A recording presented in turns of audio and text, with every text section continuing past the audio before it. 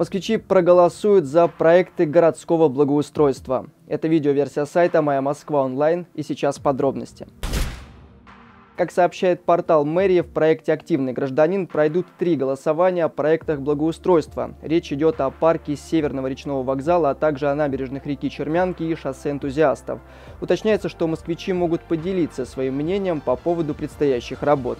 Парке Северного речного вокзала планируют привести в порядок набережную, восстановить элементы декора и организовать цветники. Также в рамках работ намерены благоустроить два участка в районе реки Чермянки. При благоустройстве шоссе энтузиастов будут проведены работы на Андроневской площади, Домкат, а на ряде станций метро планируется заменить покрытие на гранитное мощение. Пока это все. Еще больше новостей из жизни столицы и не только вы можете найти на сайте mymsk.online. Всего доброго!